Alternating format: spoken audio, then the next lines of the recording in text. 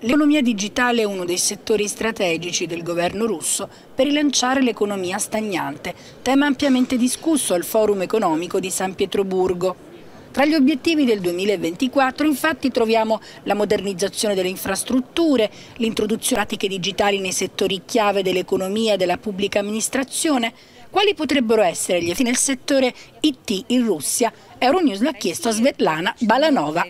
In Russia molto dipende da come lo Stato si approccia all'economia, cosa bolle in pentola nell'agenda dei vertici dello Stato.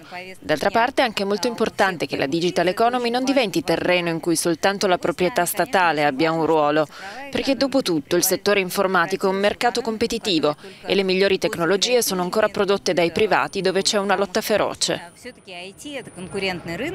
и лучшие технологии все равно создаются чаще всего не государствами и не государственными игроками, а создаются именно частными игроками в такой в жесткой конкурентной борьбе.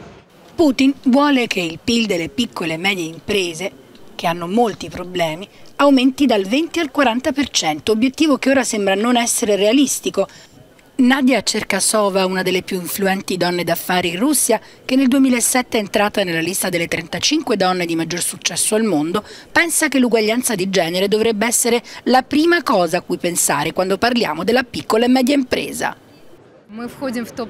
Tra i top manager del mondo al terzo posto c'è una donna, ma allo stesso tempo siamo solo al 56esimo posto nella classifica imprenditoriale. Quindi dobbiamo tutti quanti prendere posizione e aiutare le donne a sviluppare il loro business.